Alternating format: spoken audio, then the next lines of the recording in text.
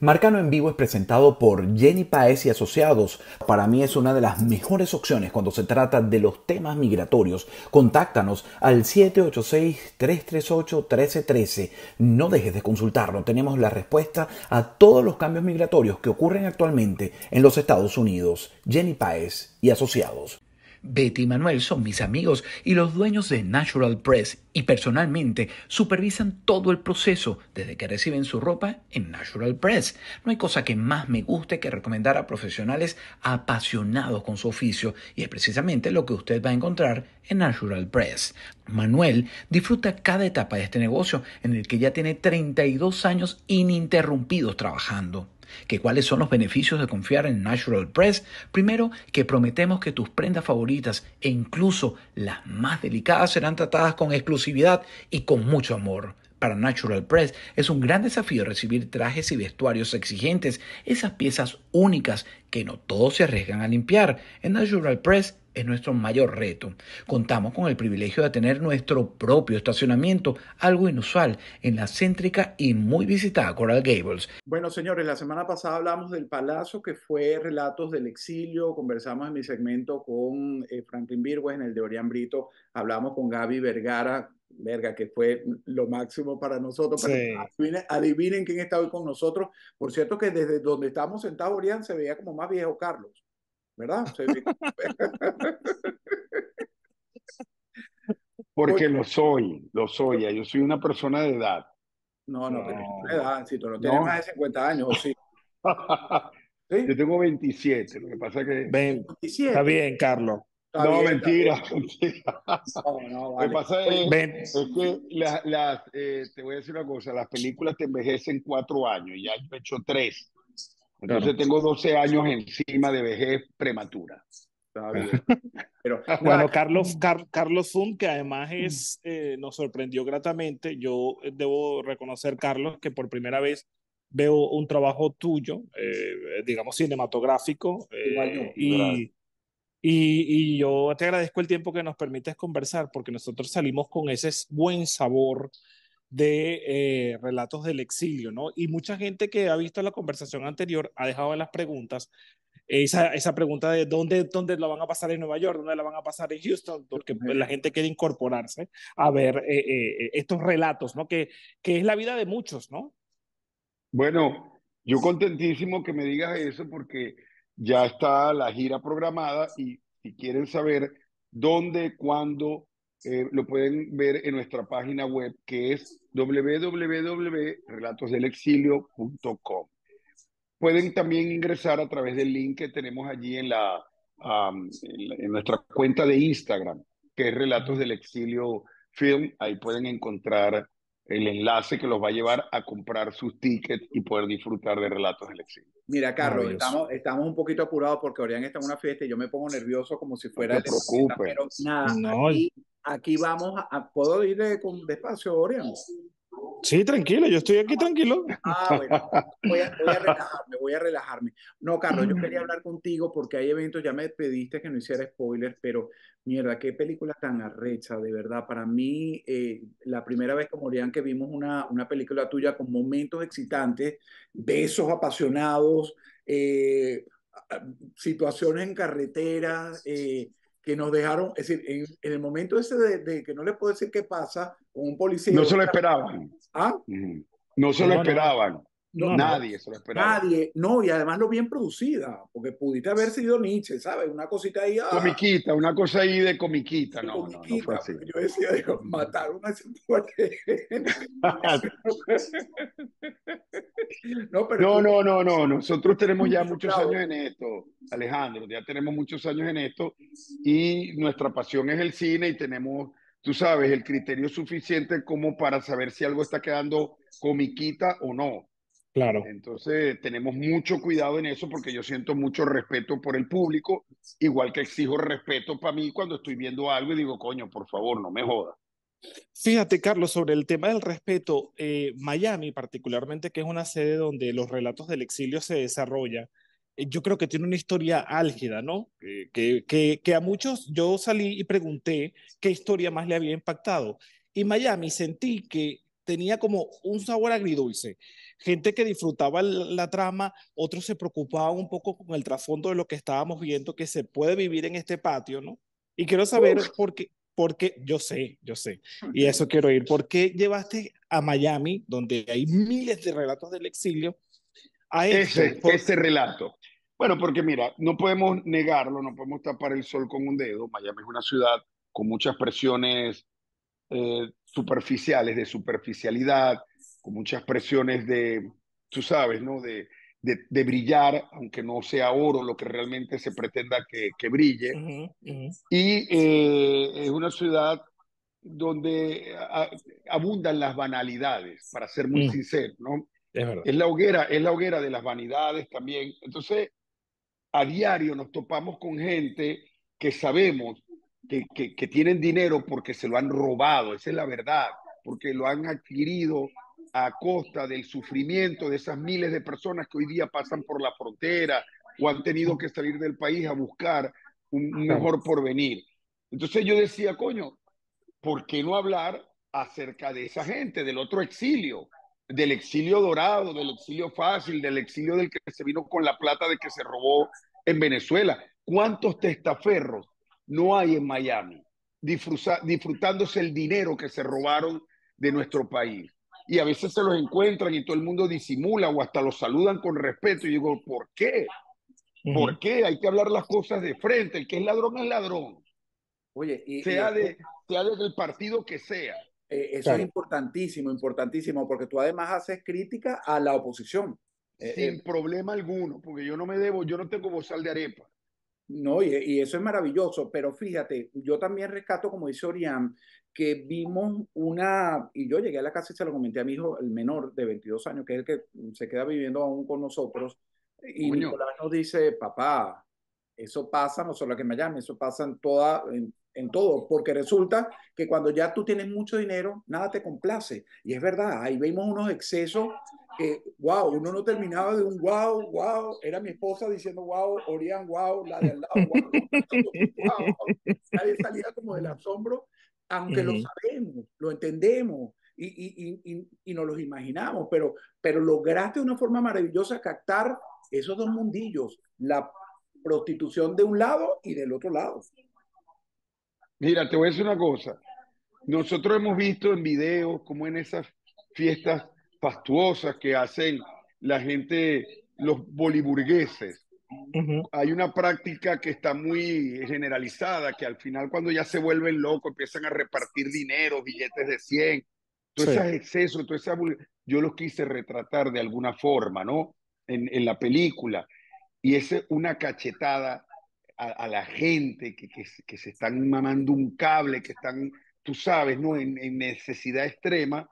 Y hay esa otra cara del exilio, ¿no? Del exilio que despilfarran, que, que, que, miran además a los que están en situación de, los miran por el hombro, cuando son ellos los que deberían bajar la mirada y estar avergonzados.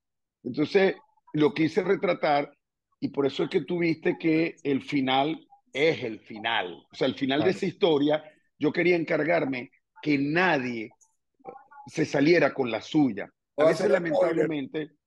No, no, por favor. No, no, porque la gente no sabe realmente. No, no, no, no, no, no lo vamos a hacer porque al final, el final no lo estamos comentando. El final, eh, yo creo que es una lección para todos y, y no estamos describiendo lo que ocurre. Ahora, lo que yo sí creo es que pudiste retratar eh, eh, eh, lo que, como lo dice Alejandro, se ve en, en, nuestra sociedad actual, digamos, esa falta de moral que hay. No, claro, yo decía Alejandro, oye, esta historia, tragármela al principio, me dejó como que, no, no puede ser. Tú lo ves. Mira, Orián, tú, por ejemplo, vamos a hablar claro.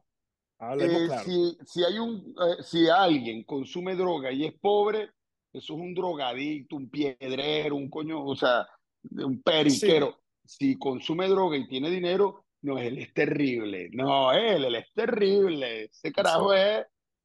Entonces, mira, siempre cuando se mide a través de la lupa del, del dinero o del diamante, cómo se distorsionan las cosas. Entonces, yo quería hablar sin tabú y yo creo que, que se dicen las cosas así, sin tabú. Claro, tiene que ser así. De hecho, el cine permite esa gran libertad, porque bueno, las telenovelas todavía si tengo un medio tiene ciertos eh, límites, ¿no? Pero el cine es eso. El cine, no, el cine es cultura. Claro. Las películas te inspiran, las películas son capaces de derrumbar gobierno, Carlos, de armarte de valor. En, ese, en esa primera parte, quizás de otro, vamos a ampliarlo un poco, vamos a dedicarnos en este segmento y hablamos de los otros dos que también fueron, los otros tres que fueron impactantes en el canal de, de Orián. Eh, en, esta primera, en este primer relato del exilio, que como dice Orián, nos los hubieras dejado para el final y no lloramos. no hubieran podido. claro. Estoy pensando en cambiar el orden, Moca. Estoy pensando en cambiar el orden. Sí, sí lo, puedes, invertir porque al final. Y no pasa nada. Y no pasa nada, porque ese último de verdad te dejaría con no, no, con esa sensación de. Este se fue corriendo, no pudo, no aguanto más, se fue, me voy, me voy, ya cuando te los aplausos. Pero oye, tenía un elenco, un elenco en, en sí. Maravilloso, pero allí estaba, yo no la conozco mucho a esta muchacha. Eh, Ana, Ana, Ana Karina Casanova. No, no, Ana Karina Casanova el, es... que era eh, que estaba con Gabriela Vergara. Gabriela, Norquis, Norquis. Norquis Batista. Yo a ella no la conocía, no la, no, no, la conozco de actriz, de novela, pero no, no la había visto pues en la película de cine actual. Pero es un, un, una taquilla espectacular de, de primera figura, ¿no? Sí, señor. Ahora, Franklin Birwell, mi pana, que además lo he cuestionado, ese tuvo que no da, casi que pedir un programa de YouTube por, por, por Guaidó por huevón, por huevón. Pero, pero, sí, no, no, pero, pero a mí me lo han criticado muchísimo. es que no es ni asesino, ni ladrón, ni enchufado, ni boliburgués, ni nada. Fue Guaidó Lover, ese es su, ese es su peo, nada que ver. Eh, yo lo condené política, eh, políticamente, pero fíjate, en ese... Bueno, mira, ya va un momento en su defensa. ¿Quién no fue Guaidó Lover en algún momento? Ah, bueno, ah, sí. Bueno, bueno es que yo te voy a decir algo. Para mí sale... En la arrancada.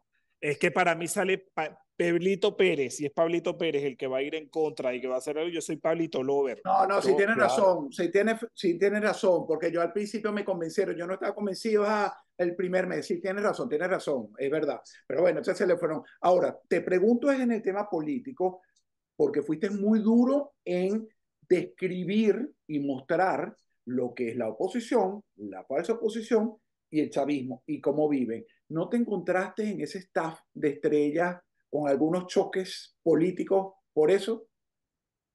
Bueno, mira, vamos a estar claros. Eh, a mí me ha acompañado en esta aventura una cantidad variopinta de amigos, entre ellas a, gente que creyó mucho en Guaidó, caso Roberto Marrero. Claro, que estuvo preso incluso. que estuvo preso incluso. Y yo ese tema no lo toco mucho con él, yo no hablo mucho de política porque yo las veces que he apostado en política me he enredado y de verdad soy neófito. Entonces, este, eh, yo le he dicho, mira, eh, esto le da duro al gobierno, mi hermano, haga lo que usted tenga que hacer, usted no tiene, yo no puedo coartarte tu libertad. Y yo creo, en el fondo, yo no, no tengo por qué hablar con él, yo creo que él está muy decepcionado de muchas cosas, ¿no? Este, es lo que yo creo. Este, yo no, no le pregunto cómo se las lleva él con Guaidó, ni si él sigue creyendo que eso fue lo mejor. En esas disquisiciones políticas yo no entro, pero este, allí nadie nunca me ha dicho nada. De hecho, una de las primeras personas en ver esta película fue Carlos Vecchio. que estaba allí, por cierto. Que estaba allí, por cierto, y a quien yo le tengo respeto, cariño y admiración. Cuando Carlos Vecchio vio la película en mi casa, este, ese hombre empezó a llorar yo no sé si, si lloraba por la decepción de lo, aquello que nunca fue, de las esperanzas que, que, que, que, yo me imagino que naufragaron y que él también vio, vio naufragar, o sencillamente porque conectó mucho. Pero cuando yo vi llorar a Carlos Vecchio y que le, le tenía que dar toalla, toallitas para que se, se calmara, yo dije, esta película va a conectar con todo el mundo. No, sin, duda. Esta, ahí fue cuando yo dije, esta película va a ser un éxito. Claro. Cuando lo vi llorar y conectado. Claro, Carlos, yo quiero preguntarte porque tenemos varias realidades, ¿no? La realidad de la decepción política más la impotencia por no lograr los cambios que no se han logrado. Número dos, tenemos una realidad social, eh, un éxodo que no para. de hecho, la película surge o estos relatos se dan en pleno, eh, digamos, momento donde suenan más las noticias negativas del éxodo venezolano. Y eso es una realidad. Yo en el día estaba cubriendo en el canal donde trabajo los casos de Nueva York y Georgia y en la noche me, me reconcilié eh, con relatos del exilio. Te pregunto si esas realidades no creen que cada uno de nosotros nos conecta una herida. ¿Tú crees que nosotros somos unos exiliados heridos, ya sea por política, por social, por familia? ¿Tenemos esa particularidad, ese exilio venezolano? Mira, al igual que tú, me decepcionan muchas cosas. Este, Me decepciona últimamente ese flujo migratorio que está llegando al país, que algunos no llegan con las mejores intenciones. Entendemos que es, una, que es un fenómeno eh, social. Este, cuando emigra, emigra lo bueno, emigra lo malo, ¿no? y, los cinturones de marginalidad, los que más sienten el peso, son los primeros que empiezan a, a irse. Obviamente, este, si tú abres la frontera, si tú no tienes un control migratorio, olvídate. Por eh, yo no culparía, o sea, claro, hay responsabilidad de la gente que está entrando con malas intenciones, pero mucha más responsabilidad también la tiene el que no controla, el que no tiene un filtro de quién está entrando a mi país. Mm, Porque yo cuando he llegado a este país, eso me preguntan de todo, de qué color, qué fue lo que comí ayer, y entonces te preguntan cosas como usted trae explosivos. Coño, ¿y o sea, si los traigo te voy a decir que sí. Entonces me asombra, no, una cosa loca, entonces me asombra cómo, cómo en este momento por esa frontera están dejando pasar todo. Yo digo, no, si es verdad, están pasando venezolanos malos, lo mismo que pasaron cubanos malos en los 80 cuando el Mariel. Correcto. Y, y, y Fidel soltó las cárceles y dejó también salir a criminales, delincuentes para que invadieran este país y vinieran a delinquir. Yo le digo, sí, este, malos hay en todos lados, malos hay en todas partes. Que los estén dejando pasar es otra cosa. Pero no voy a eximir de responsabilidad a los venezolanos que están viniendo con malas intenciones. Pues hay que, que les tiene que caer todo el peso de la ley y siento mucho fresquito cuando leo que los están capturando, no solo a los venezolanos, al que sea. Pero es muy injusto e inmerecido que, la, que generalicen, porque el venezolano no es eso. El venezolano es gente trabajadora, es gente buena, es gente optimista, es gente que se levanta temprano. Yo, por particularmente, yo no conozco ningún venezolano criminal. Yo particularmente. yo, conozco venezolanos que se levantan a las 5 de la mañana y tienen tres trabajos. Yo conozco venezolanos que son las 12 de la noche y no han llegado a su casa trabajando, que aman a su familia, porque nadie habla de esos casos. Está bien, vamos a criticar lo malo, pero vamos a exaltar lo bueno. O, venezolanos como Orián, que viene toda la tarde a trabajar y no se negó a terminar esta entrevista porque está en una fiesta, se sale del salón. Pero bravo, bravo por ti, Orián, bravo por ti. No, la, la, la, disciplina y la responsabilidad es lo que tiene que ser y aquí estoy. Así es, pero mira, antes de pasar al segmento y hablar de los otros tres relatos, quiero compartir con el público la llamada que nos hicimos. Eh, Coco Mata es una persona a la que Orián y yo queremos muchísimo. Y yo amamos. Creo que amamos. Es decir, nosotros sí, sí, sí. No, no, los culpo, no los culpo. No, no, una calidad humana. Esa es otra venezolana que nos llena de orgullo. De orgullo, sí, esa gente que lo que lo que, que, que la llena, la llena a uno. Pero bueno, el cuento es que eh, yo te contaba, Carlos, en una llamada ayer, antes de grabar este programa, que nos conocimos en en, por teléfono porque nos hemos visto, pero no habíamos tenido la oportunidad te agradezco los agradecimientos a nosotros, a mi esposa y a todos los que estuvimos allí presentes. Coco nos hizo la, el seguimiento que ella siempre nos hace, como te decía, ella como fastidiosita, pero amable. Oye, mira, van a venir a tal hora, entonces, pero los espero. Entonces, Coco estaba tan abrumada que las últimas dos horas no lo hizo. Recibo la llamada de Orián Brito cuando había llegado y yo te lo compartí, pero quiero ahora que lo cuentes tú desde tu lado yo le digo, ya yo estoy llegando, Orián, porque Orián me dice, no puedo con tantas estrellas, fue, lo que me dijiste. Yo, yo, le dije, yo estoy en el 2 de oro y no me estoy dando cuenta, me caí en el Teatro de la Campiña, le dije, yo estoy, le yo estoy en el Teatro de la Campiña y no me di cuenta, porque veo a Norky, Nelson Bustamante, una luz, una cosa, una alfombra, voy para el estudio. Orián, eh, Lucía joven hasta ahora, se te cayó la cédula. el 2 de oro. Óchale, pero no es tanto tiempo, no es tanto tiempo. Mira, pero... imagínate desde, que cerraron el canal 2. Bueno, mira, eso es así. Yo tampoco me esperaba esa, ese aluvión de personas. Yo decía, ¿qué es esto? Eh, o sea, ¿en, qué momento pasó esto? Así como nuestro personaje, eh, Luis Jerónimo Abreu, dice, ¿en qué momento pasó esto? Yo también dije, ¿cuándo? Y todo era eh, gracias a, a Coco, ¿Cuándo te diste cuenta que estaba lo mejor del exilio allí? Y, y, y salvando que quizás faltaba muchísimo, pero ahí había la crema de los que nos hemos venido a echarle un cerro de bola. Mira, yo este, sabíamos que la cosa iba a estar bien concurrida, pero estaba programado tan solo para 350 personas. Después 400, sí. ustedes no se dieron cuenta, pero ese teatro tiene una particularidad que tiene unas cortinas negras que inhabilita eh, una sesión de, de, sillas que está casi ya al final del, del teatro en ambas filas, ¿no? Y cuando empezó a llegar gente, nos dijeron, mira, vamos a tener que habilitar las, las, otras sillas, porque el teatro tiene capacidad para 600 personas. Yo cuando vi que la gente incluso tenía dificultad de movimiento en la sala que antecede la entrada al cine, a la butaca, yo dije, coño, esto está, esto está... Esto se descontroló. Cabilla, esto se, esto se descontroló. Se rascó el anfitrión y no dijo nada. entonces, yo empecé, yo me pongo muy nervioso porque yo debo confesar que yo soy agorafóbico, es decir, a mí las multitudes me, me dan un Yo creo que yo también, disculpa que te interrumpa. Te lo juro que le pasó a mí me pasó. Yo le dije, me quiero ir. Le dije, me quiero ir. y además, te voy a decir algo. Todavía llegó, se sentó y mi esposa que estaba al lado de él, eh, me decía, Orián estaba, eh, eh, se quería ir, me voy a ir, me voy a ir, quedaste como angustiado. ¿sí? Yo me empezaron, yo empecé a tener un ataque de ansiedad y de pánico. Yo dije, esto es mucha gente, yo, y tenía, tenía el miedo que, que, que, la gente quedara de pie. Alguna gente cuando vio tanta gente, algunos se fueron, para que lo sepan. Algunas personas se fueron porque dijeron, verga, aquí no, no, aquí no vamos a quedar sentados en la alfombra, ¿no? Y pero cada persona que yo veía, yo decía, unas caras conocidas, otras que no conocía, pero yo veía tanta gente alegre, entusiasta, entusiasmada por lo que, por, por, por, ese encuentro más.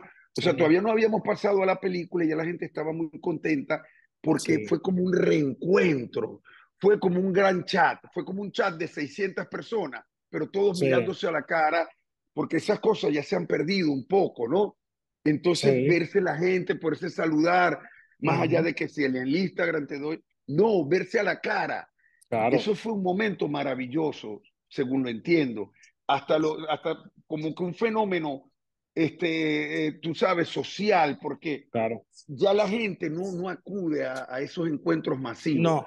Tú, no, tú lo dijiste, si ese día hubiera sido las primarias, el resultado era claro. Yo lo dije, yo dije, vamos a buscar aquí el candidato, yo lo dije, ciertamente lo dije porque dije que aquí está todo Y eso me causó, me causó gracia y le dije, coño, qué bonito fue esto, porque más allá de que la película haya gustado, fue un momento de reencuentro, de reencuentro con caras conocidas, con gente buena, con gente bonita, esa gente que, que nos llena de orgullo. Yo, yo estaba feliz. se me fue quitando un poco el miedo.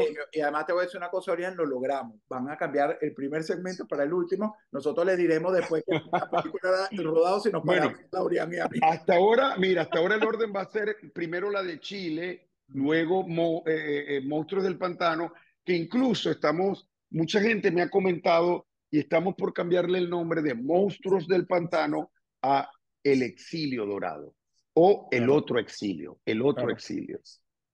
El boli, el boli exilio me gusta, el boli exilio, bueno, porque... Eh. Bueno, pero boli eh, es como decir Bolívar y Bolívar no se merece tampoco. bueno, ciertamente lo que pasa es que... Me di cuenta de una cosa y me aterró. Al final, ustedes, no sé si ya se habían ido, quizás tú, Oriente, habías ido. Al final, uno de los actores chilenos que vivió en Venezuela mucho tiempo tomó el micrófono y empezó a cantar el himno. Y me di cuenta que hubo un rechazo al himno. La, mucha gente no lo cantaba. Yo, no lo dije, Dios mío, Dios mío. Pero Carlos, era lo que yo te decía. Todavía está latente el recuerdo de Chávez cuando cantaba el himno en el balcón del pueblo. Sí. Que la gente le causa todavía como... Carlos, yo te decía hace rato en una de las preguntas que luego conversabas sobre lo que vemos aquí en Miami, es que yo siento que cada uno de nosotros, en mayor, menor medida, por una u otra razón, tenemos una herida. Coño. Y, es una de ellas. Yo no quise cantar el himno nacional, me quedé, me sorprendió. Eh, por cierto, no reconocí al actor, le dije a mi esposa, él era el, el, doctor chileno, sí era el doctor chileno, ¿verdad? No, No, no, no, no, no. Ah, él era el, señor del café. El, el del café. el señor del café que, Correcto. que amansó a la bestia aquella que estaba. Sí, sí, sí. ¿Te acuerdas? Ah, Tranquilo. Por razón, era más flaco. Yo decía, pero bueno, nada, hubo un rechazo, pero no fue el rechazo al himno nacional, que es un símbolo patrio de nosotros los venezolanos, sino lo que ha representado y cómo lo han mancillado durante todo este tiempo. Oye, Carlos, es injusto, es injusto. Sí, es injusto. Pero bueno, vamos a pasar al segmento de Orián. Te agradecemos esta conversación. Vamos a hablar de los otros tres relatos que están interesantísimos eh, y ya hablaremos de ellos, pero nos vemos en mi segmento. Gracias, de verdad te lo agradecemos en nombre de Orián, de este servidor, sí. eh, de los que no. O sea, me quedo, me quedo aquí, me quedo. Te quedas allí que Tú te quedas okay. ahí que tengo unas preguntitas en el tintero que ya vamos para Claro, Orián, claro. ¿Cuál es el premio de Venezuela? de oro. Gracias. Ahora vamos para el premio Ronda, vamos para el premio Ronda. El Mara de Oro, el Mara, el Mara de Oro. O la orquídea, la orquídea. Vamos a la orquídea, vamos a la orquídea. el Mara de Oro. Bueno, gracias Alejandro. Nos vemos, Buenas noches. Ya nos vemos. Nos vemos, amigos. Recuerden suscribirse, compartir este contenido y si quieren ver cuándo van a estrenar la película en cualquier ciudad de Estados Unidos, ahí pues, va a estar. Ahí hay un link de donde lo pueden hacer. Nos vemos pronto.